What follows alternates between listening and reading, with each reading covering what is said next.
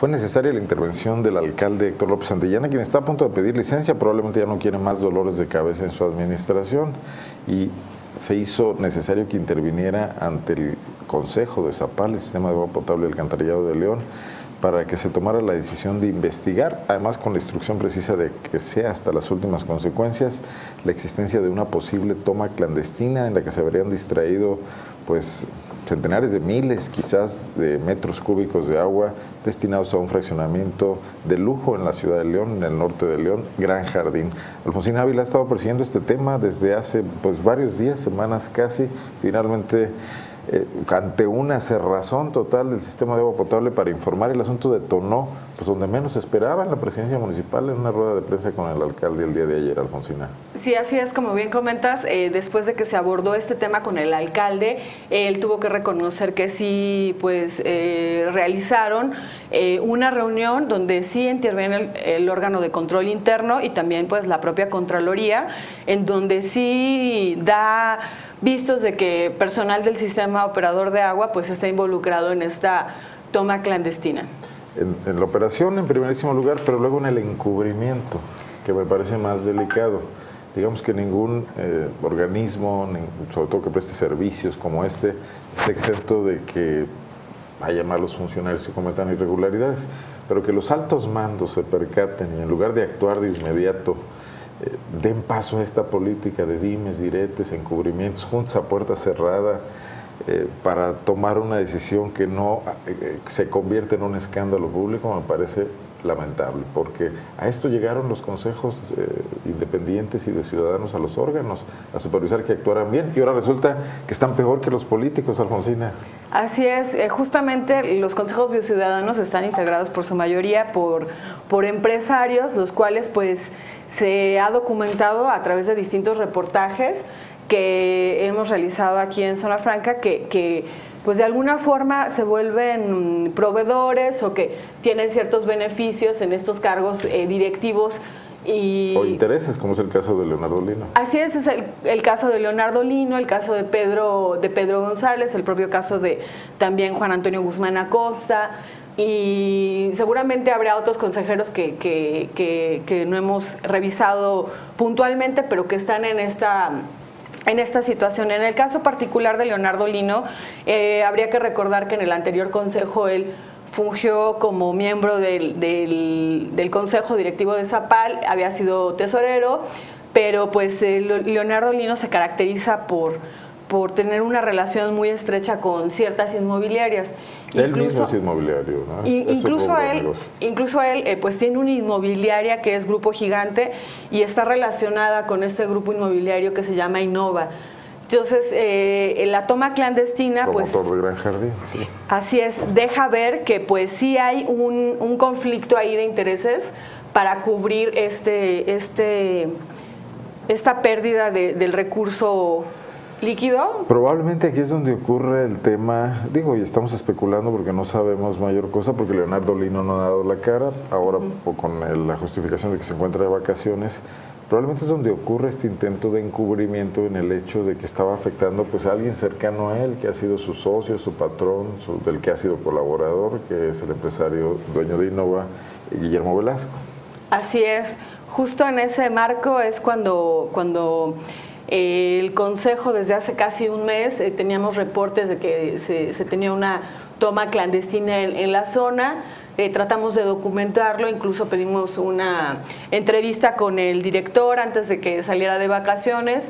Este tema pues, eh, pues estalla, no, no la dio, estalla justo cuando, cuando él toma este periodo vacacional, hay una reunión importante entre algunos directivos del, del, Consejo de Zapal y miembros del ayuntamiento, entre ellos Luis Ernesto Ayala, quien pues podría ser el alcalde interino y... No quiere esta, este cadáver en el closet, probablemente, ¿no? Así es, es, algo que definitivamente pues le podría pues estallar y también está presente en esta reunión eh, Felipe de Jesús López Gómez, quien se desempeña como secretario del ayuntamiento, personal de Zapal y personal de la Contraloría Interna.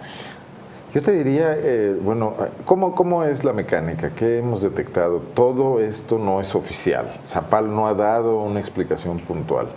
El tema es que técnicos que, conocen de la situación nos han explicado que Gran Jardín, el fraccionamiento Gran Jardín, ubicado al norte de León, que todo el mundo conoce, que ha crecido eh, exponencialmente y ha desarrollado muchas nuevas secciones, compra el, agua a Zapal en bloque. No hay cuentas individualizadas en, en, una parte de este desarrollo, en otras partes sí.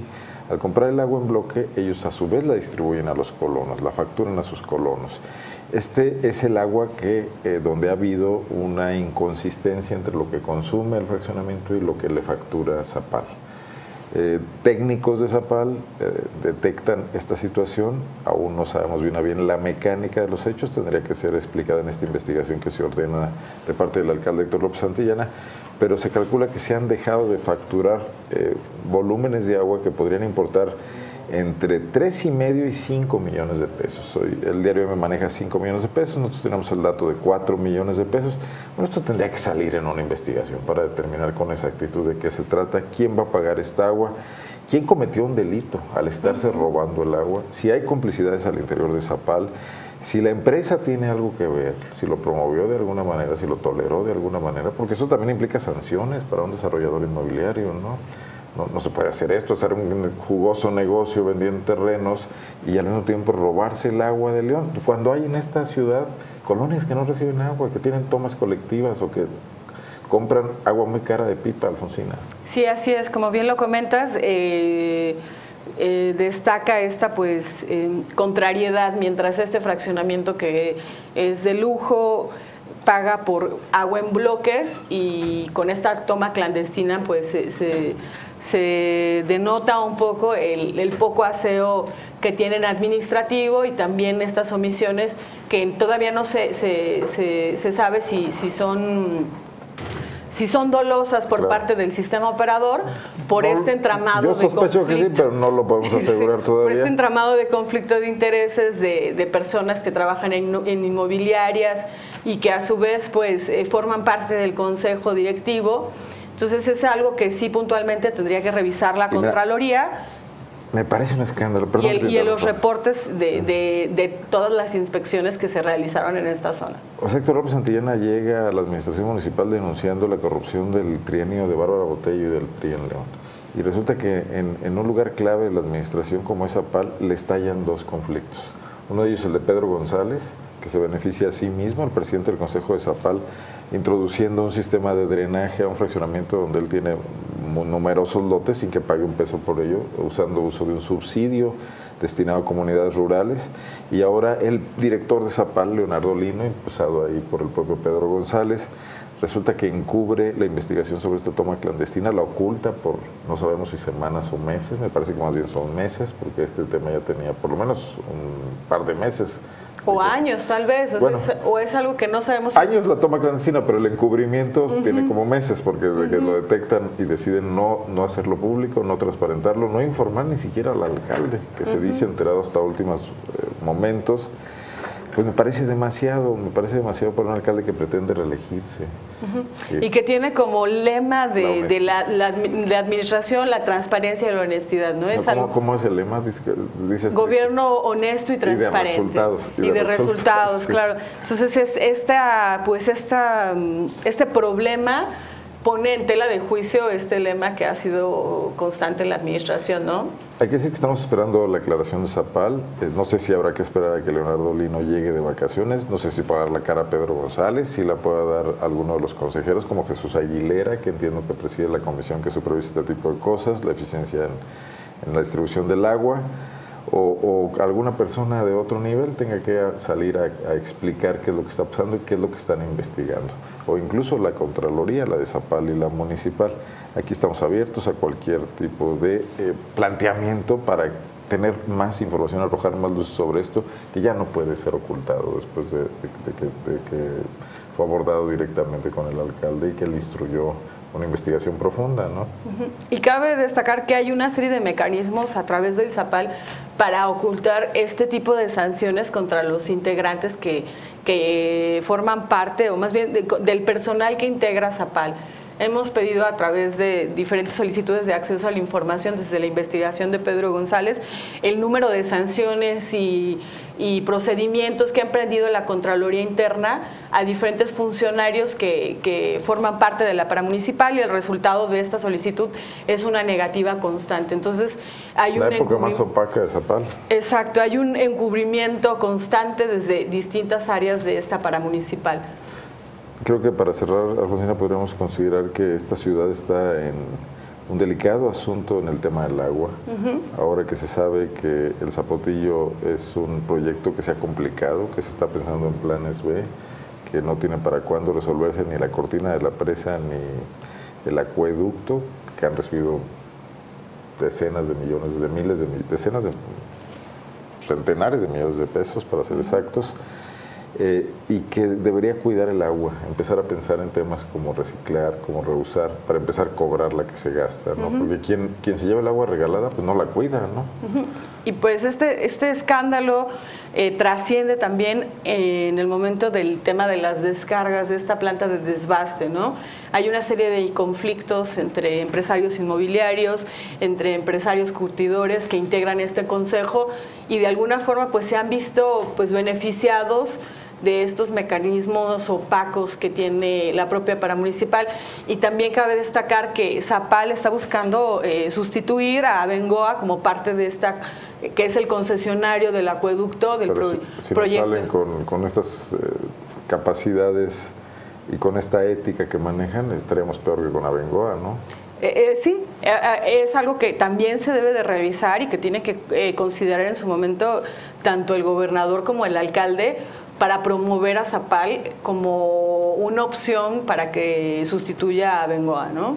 Hacer la casa de que es Zapal. El peor momento de Zapal en mucho tiempo, con estos escándalos que sobre todo derivan de la falta de capacidad de gestión, de la incapacidad de gestión de sus directivos. En ningún caso han sabido cómo afrontar estos temas, reconocer que han cometido errores, tratar de enmendarlos. Está Pedro González contratando despachos a expensas del propio Zapal para salvar la cara de un asunto donde cometió un error personal, en el caso de los jacales. Esperemos que con Lino no ocurra lo mismo esta vez. Lo más sencillo del mundo sería cobrar el agua que se han venido robando en Gran Jardín y sancionar al fraccionamiento, ver si hay complicidades internas de otros funcionarios de, niveles bajos, medios o altos y también tomar las medidas correspondientes. Así es, eh, pues es un tema que vamos a seguir de manera puntual durante las siguientes semanas. Eh, vamos a buscar este seguimiento con el Contralor para ver qué medidas va a tomar la Contraloría el titular Esteban Ramírez y, pues seguir este procedimiento de, revisión a esta toma clandestina. Y aunque nadie se acuerde y a todos se nos olvide, porque ellos mismos se encargan de esconderse debajo de la mesa, habría que recordar que Guanajuato cuenta con un sistema estatal anticorrupción. Así es. Que encabeza la académica Arminda Balbuena y que hasta el día de hoy brilla por su ausencia en todos estos temas. La estaremos buscando también para ver qué opina de lo que pasa aquí como lo que pasa en otros temas. Alfonsina, ¿qué te parece? Así es. Gracias, Arnoldo. Regresamos, vamos a una pausa.